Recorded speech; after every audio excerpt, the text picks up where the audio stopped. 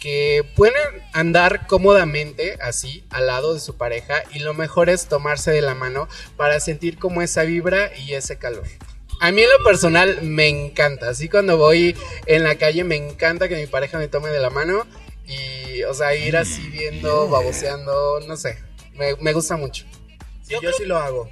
Y sí hay que darse esa oportunidad porque la verdad ahora hasta pena les da agarrarse de la mano cuando pues ya deberíamos de, de, ser como más abiertos a nuestras preferencias y a lo que nos gusta, ¿no? Si eso, es, si eso es lo que de verdad nos está gustando y con esa persona me estoy sintiendo seguro, yo creo que lo podemos agarrar de la mano o hasta abrazarlo.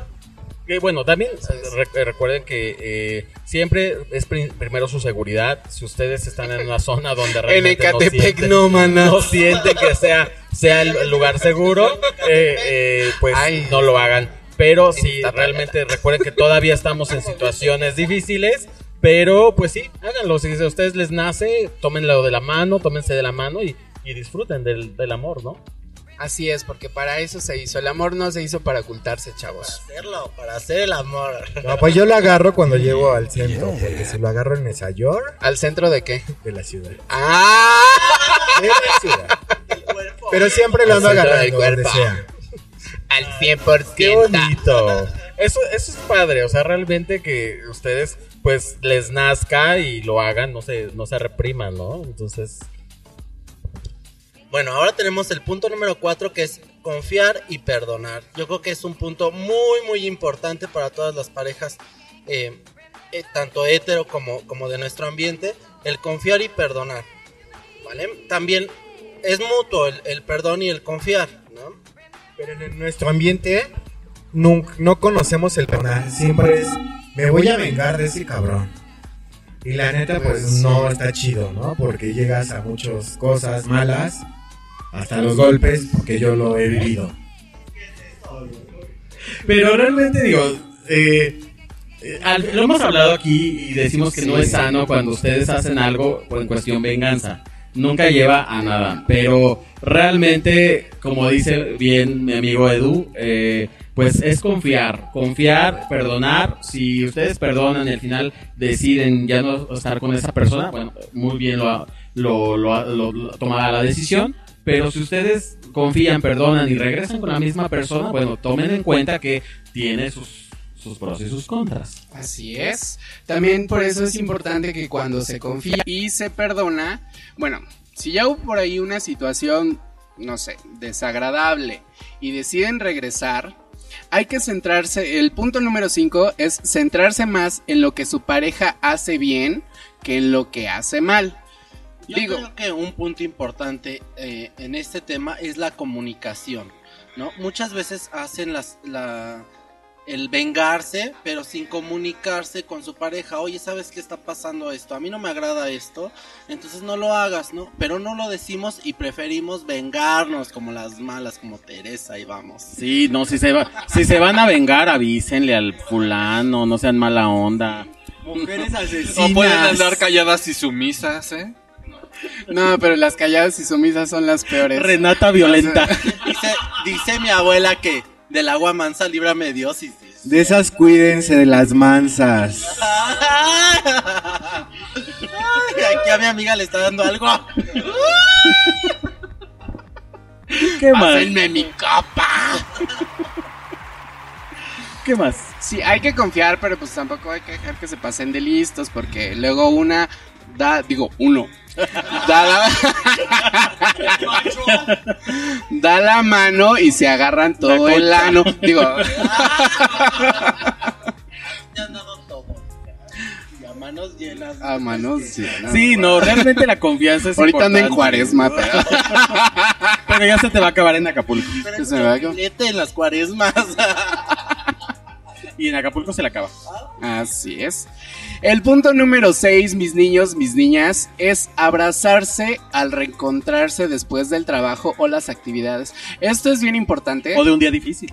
Sí, porque como dices, hermana, a veces el estrés, el trabajo, los días difíciles nos consumen y nos olvidamos como de ese detallito de Y a veces estar como que tu mal día te lo llevas a tu casa. Exactamente, y lo, no, no y se vale lo porque... descargas con tu pareja. No, no se vale porque la otra persona pues no tiene la culpa de que tú hayas tenido un día difícil. Simplemente, pues sabes que cuando se, se vean después de sus actividades, un abrazo de verdad así del alma reconforta y te quita el mal humor y te da como nueva energía para vivir el resto del día. Y a lo mejor Las escuchar a que tu te pareja que se desahogue un poco de lo malo que le pasó, Así es. pero decirle, bueno, ya te desahogaste, ya olvídalo, todo tiene solución y de ahí vámonos a, a cochar, ¿no? Claro, yo creo, A cenar, a cenar. yo creo que los problemas que nos pasan tanto en, en el ámbito social como en, en el trabajo hay que dejarlos afuera, ¿no? Ya entrando en tu casa, ya estás en otro ámbito.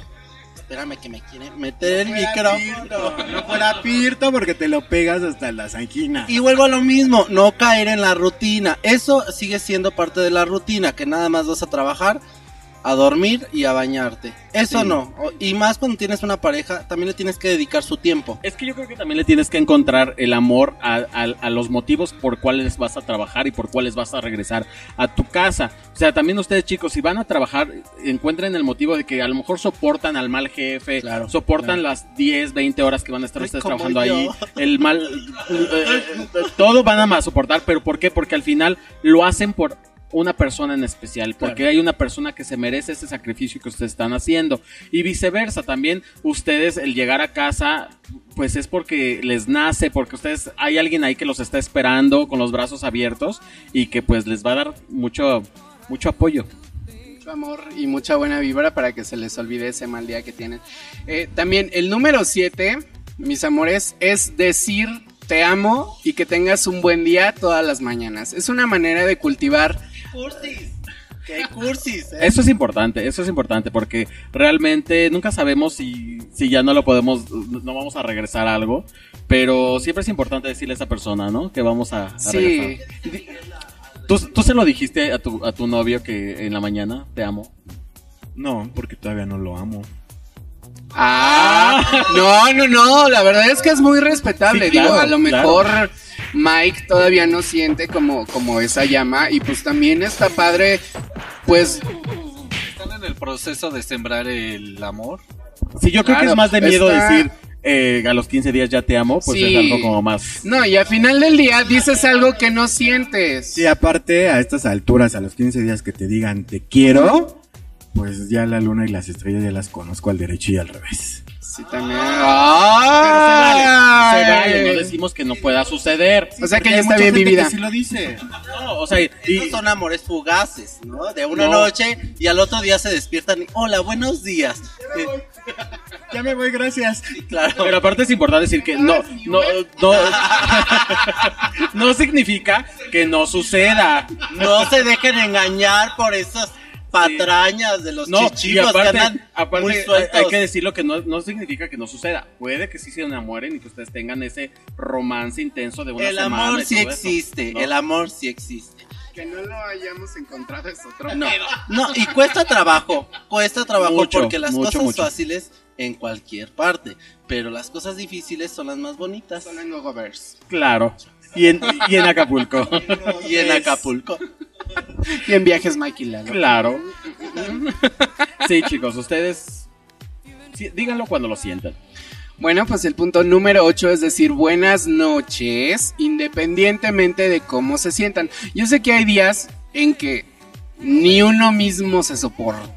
Que no ves quién te la hizo, sino quién te la paga. Exactamente, pero pues no por eso hay que dejarnos llevar como por el coraje o el mal día. Y pues aunque estemos que nos lleva, hay que decirle buenas noches a esa persona especial, porque pues no sabemos si vamos a amanecer al otro día, este, si nos va a pasar algo y pues nunca hay que, este, pues acostarse enojados, ¿no? Nunca, nunca, porque al final no tiene caso. El número 9 es llamar o enviar un pequeño mensaje durante el día a su pareja. Como, ¿ya comiste? O algo así. Sin caer. ¿Ya llegaste al trabajo? Sí, claro. Ya llegaste porque tienes 10 minutos que no me marcas. ¿ah? Y, oye, y las palomitas Es ya están en verde. No, obvio tampoco sin caer en, en- en el... Cuando en uno el- viene en el metro ahí jaloneándose y no hay señal. No es porque uno venga en el último vagón queriendo agarrar el tubo. Y trae las manos ocupadas y no puedes es contestar. que el, el transporte de la Ciudad de México es horrible, ¿eh? Ustedes, porque Sí, de son hecho, ricas. de hecho hay que decirle a nuestro amigo Martín de Colombia, él nos comenta que dice, el amor cuesta trabajo encontrarlo y expresarlo muy pronto genera temores. Sí, sí, claro, o sea, realmente sucede. Es verdad. Claro. Sí, no, a veces no, yo creo que decirle a una persona de un- tan pronto te amo, yo creo que sí. Y en, y en este ambiente, yo creo que no cualquiera se arriesga. Y, los, y, y hay muchos que se arriesgan, pues, sin conocer, ¿no? Sin conocer a las personas y sin conocer. Otra, otra cosa que a mí me gustaría agregar es, conozcan a su pareja, conozcan a la persona con la que están tratando. No por irse una noche de antro, entonces se van a, se van a ir luego, luego con él, ¿no? Sí. Y ya me quiero ir a vivir con él y vamos a hacer nuestro nidito de amor. No, conozcan, dense la oportunidad de conocer a, a su, a su pareja, a la persona con la que están saliendo. Mensaje patrocinado por el Consejo Mexicano de Psicólogas Dejadas. no es cierto, amor. Tomen nota, tomen nota. El número 10 y uno de los más bonitos y más importantes es sentirse orgulloso de estar con su pareja. O sea, de, de verdad, chavos, chavas, el amor, como decía aquí mi comadre, dejada del team Soy Sola, como yo, Pero feliz. pero feliz. Sola pero Se feliz. ponen borrachas y lloran. ¡Ay, ya no! Es que es el sentimiento. Con Jenny, ¿eh? Con Jenny Rivera. Dile, ya pasó, ya Jenny murió. Rivera. Dile, ya murió. Ya murió. Oye, Murió. aparte déjenme decirle que nuestro amigo Martín nos está diciendo que él desearía muchísimo que en, en- en Colombia se hicieran este tipo de, de excursiones, que ya, ya no las tiene. Ya, eh, Martín, nuestros amigos Ma- Mike y Lalo ya están planeando una excursión allá a Colombia. Entonces, ah, que dice que a las hermosas playas de Colombia. Claro. sí. Y ahí tienen gente hermosa, ¿eh? Eh, Sí, papuchos. Bueno, ya para Dice cerrar. que es- deberían de montar una filial en Colombia. Ay, Pues dice que si tú te unes con ellos, tú eres el... Nos llevamos aquí todas las peticiones. Sus datos te van a agregar a Facebook, Martín. Ojo, por si aquí estas dos trepadoras. no es cierto. No, Martín, adelante. Pues nos ponemos de acuerdo y a ver qué podemos armar para eh, una excursión eh, que sea internacional. Ah, mira. Bueno, lo que les decía. tengo como cinco amigos colombianos. Y están guapos. A mí, bueno, los venezolanos, hijo. Híjole. Bueno, ya no estamos saliendo del tema. En respecto al último punto de sentirse orgulloso con su pareja, como decía aquí mi comadre Lalo, es difícil en estos tiempos encontrar el amor. Es Entonces, imposible, ¿no? Es imposible. Es difícil, pero no imposible. le ha ido muy mal en la vida. me ha ido muy mal, manas. Pero de verdad, cuando tengan una pareja que valga la pena, hay que sentirse orgullosos de ella, abrazarlo, besarlo, tomarlo de la mano, hacerle sentir de verdad lo importante que Hacerle es en su nuestras lunch en la vidas. mañana. Hacerle su lunch. Yo sí le hago a mi marido, a las 6 de la mañana me paro a hacer de desayunar. Y que se lleve su cafecito. Ay, Esos son eso es mensajes muy que, bonito. que, que recuerda, que, te deja de los presente. tamales se lo puede llevar, entonces Doña Pelos. prefiere hacerle el desayuno.